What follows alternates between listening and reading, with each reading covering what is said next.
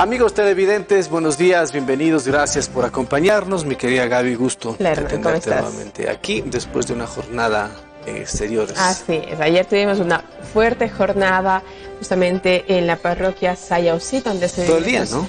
Todo el día prácticamente, salimos de aquí seis y media de la mañana y estuvimos allá hasta las dos de la tarde más o menos. Terrible. Sí, la situación muy compleja la que atraviesan eh, los ciudadanos también y por esos cuatro macro deslizamientos que se suscitaron en esta zona entre Lirio y Marianza, ¿no? En el, eh, eh, más o menos son cinco kilómetros en el que está este material rocoso sobre la calzada. Uno, en el sector de Lirio ya fue habilitado, ya se retiró el material, sin embargo hay una vivienda totalmente destruida que no estaba es el, habitada. el menor, ¿no? El menor. El menor, el menor donde fue todavía. Sí, todavía se registra ahí, por ejemplo, la quebrada y la caída de agua, todavía se registra en esa zona. Y dos kilómetros más adelante, más o menos, está ya el, el, más fuerte, donde que hay varias viviendas totalmente colapsadas y unas rocas más grandes que uno, la verdad. ¿Ah, increíble, increíble. La situación, muchas personas totalmente devastadas porque han perdido sus enseres, el agua y el lodo ingresaron a sus hogares, ayer sacaban con baldes, con picos, con pala, queriendo limpiar un poco sus viviendas. La situación muy compleja. Salieron vestiditos, como se dice, ¿no? Con la parada de ropa, avanzaron a salvar su vida, corrieron a lugares seguros porque conocen la zona y todos los enseres, viviendas prácticamente están destruidas. Sí, justamente ayer hablábamos, ¿no? Hablábamos con uno de los, en la mañana cuando estábamos en el comunitario, hablábamos con uno de los moradores que tempranito seguía sacando el agua y decía, yo lo que avancé es a correr con mis hijos y salir de la casa. Hace rato no nos no nos fijamos en nada. Ha pasado, eh, se ha habido, dice, varios deslizamientos, pero no de esa magnitud. Jamás en la parroquia de sí decían los moradores que habían vivido una situación tan trágica y tan complicada como la del domingo. Personas de 60, 70, 80 años que vivían ahí decían exactamente eso, ¿no? Que es la primera vez que ocurre aquello, primera vez. Así es, pero bueno. Justamente tenemos una nota al respecto, algo importante, porque ayer el vicepresidente también recorrió esta zona. Les vamos a contar justamente, amigos, que el COE de Cuenca declaró ya el estado de emergencia ¿sí? a la parroquia Sayausí en el sector de Gulag, en Marianza, por los aluviones que dejaron al menos cuatro personas fallecidas. Veamos. Al llegar a Cuenca, el vicepresidente de la República, Alfredo Borrero, realizó un sobrevuelo junto al ministro de Transporte y Obras Públicas, Marcelo Cabrera, y otras autoridades locales por la zona de los deslizamientos en el cual observó la magnitud de los hechos. Posteriormente recorrió el lugar y dialogó con las familias afectadas, quienes sacaban el agua y lodo de sus hogares. Estoy impresionado por lo que vengo.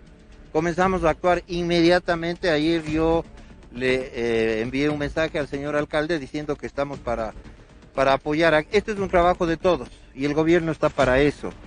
El segundo mandatario informó que desde el gobierno nacional se brindará todo el apoyo necesario para atender la emergencia. Y luego viene el proceso de recuperación, por ejemplo, de las casas. Ya se está haciendo un listado para ver cuál es la realidad de las casas a través del MIDUI. Por su parte, el ministro de Transporte y Obras Públicas, Marcelo Cabrera, indicó que en esta zona se trabaja con más de 30 equipos camineros para tratar de habilitar el paso vehicular. Nuestra declaratoria de emergencia en la recuperación de la vía. El volumen de material a retirarse, incluyendo la parte alta de la montaña, se estima entre 16.000 a 18.000 metros cúbicos. Requeriremos con ese equipo que está trabajando al momento aproximadamente de dos semanas, pero aspiramos a que en el plazo de tres días aproximadamente podamos recuperar la conectividad. Mientras que en la sesión del COE provincial liderada por el vicepresidente se determinó trabajar de manera articulada entre el gobierno nacional, local y provincial. Mi total solidaridad con las personas fallecidas y sus familiares, porque podemos recuperar las vías, pero recuperar la vida es imposible. Y después de haber observado lo que sucedió, por suerte no tenemos un mayor número de fallecidos. Además del alcalde Pedro Palacios, permanece en el sector con el equipo técnico de la Corporación Municipal y manifestó que luego de declarar a la zona en emergencia existen los recursos necesarios para tratar de solventar la situación tenemos recursos de este momento, son de los recursos operativos de cada una de las direcciones. Sin embargo, en el momento que se evalúe la necesidad, por ejemplo, de un alquiler de volquetas, de un combustible que ya se nos esté terminando para hacerlo los procesos con más diligencia, lo haremos. Por eso es que la declaratoria es fundamental y será por 30 días nada más. Gabriela Campoverde, Telerama Noticias. Dos semanas cerrada la vía, ¿no? Así es. Por ejemplo, ayer hablábamos con el ministro eh, Marcelo Cabrera y bueno, primero con Luis Mario Barcello que decía para retirar todo el material se necesita, subsecretario del EMETOP, se necesitaría de 12 a 15 días para retirar todo el material de la calzada.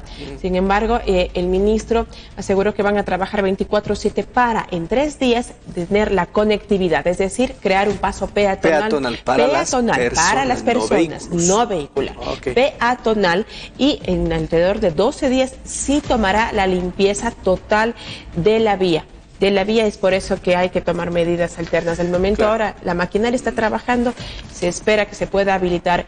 El ministro igual dijo que con esa declaratoria de emergencia eh, lo, que pretende es generar los recursos para, si pueden mejorar esa arteria vial, que Ahora, ahora hay, hay que entender también una cosa, ¿no? Primero, maquinaria está trabajando allí de varias instituciones, Ministerio de Transporte de Obras Públicas, Gobierno Provincial, municipio, municipio de Cuenca, y también del GAT parroquial, de Sayosí.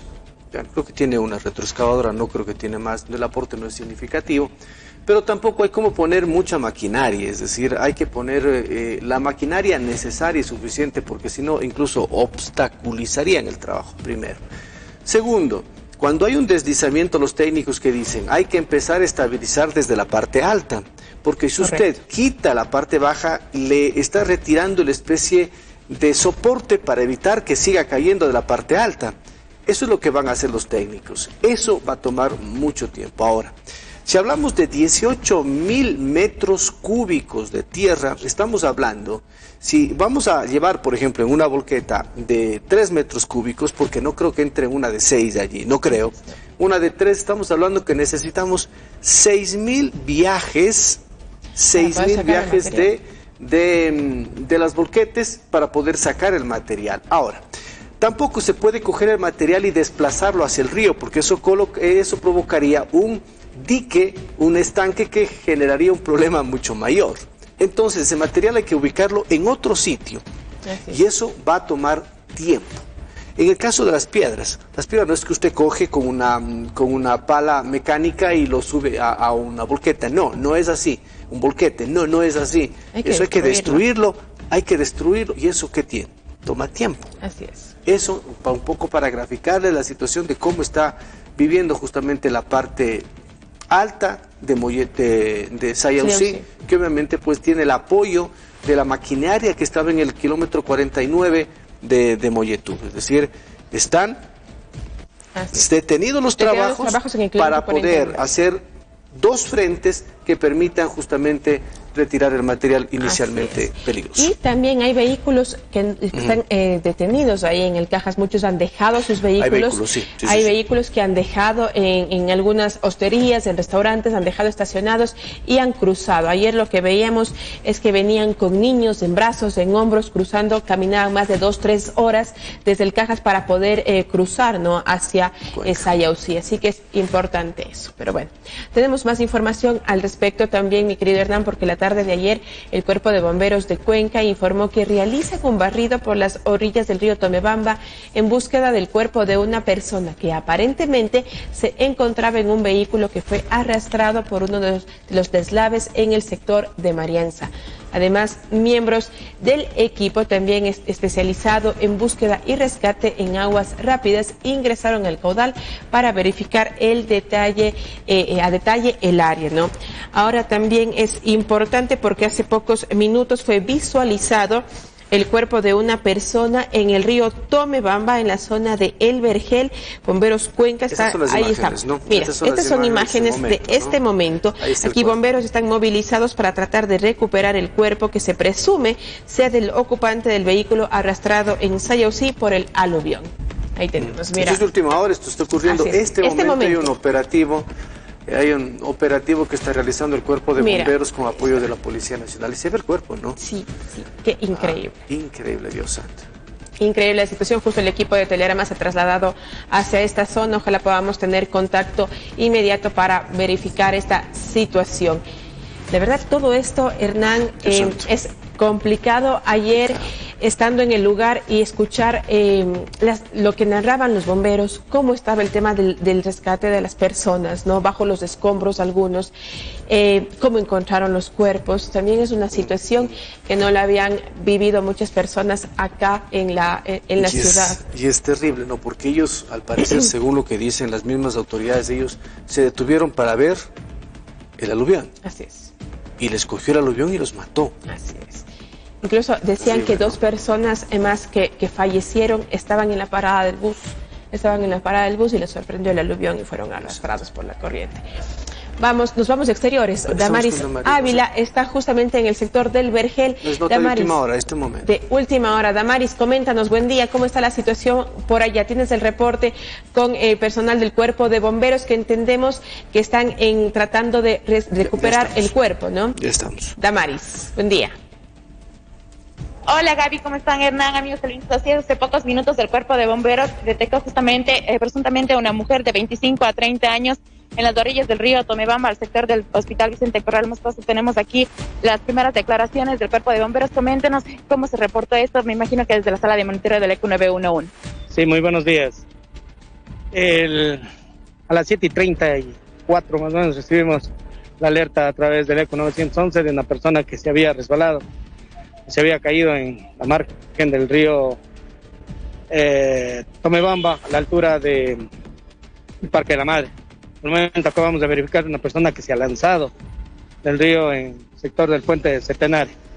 Coincide con las características que han manifestado y la que logramos rescatarle aquí a la altura de, del ingreso de emergencia del hospital regional. ¿En qué condiciones le encontraban a la persona? Una persona que ya se le veía eh, eh, tenía en, el caudal. Sin signos vitales, no podemos dar pormenores hasta que puedan dar la parte legista y legal de, de la situación sobre la, la persona rescatada. ¿Es hombre, mujer? Es de sexo femenino, aproximadamente unos de 40 a 50 años. ¿Está totalmente con ropa, vestida? Sí, al momento está vestida. Para esto utilizamos cuatro vehículos de cuerpo de bomberos, un carro de rescate, uno de respuesta, uno de respuesta rápida, una ambulancia, aproximadamente 12 bomberos. ¿Alguna característica con la que se le pueda identificar vestimenta? Eh, está con una, especie de ropa de dormir, color azul con cuadros blancos, pantalón negro y zapatos deportivos negros. No tenemos alguna. nada primeramente que se ha lanzado o se ha resbalado. Eso fue lo que manifiestan a través de los alertantes del ECU 911. ¿Se lanzó? Aparentemente, eso es lo que acaban de confirmar, pero coincide eh, la persona que logramos rescatar con las características del alertante sobre la persona que se lanzó. ¿En qué sector ocurrió eso? Eso acabamos de confirmar, el sector del puente del centenario, como lo dije.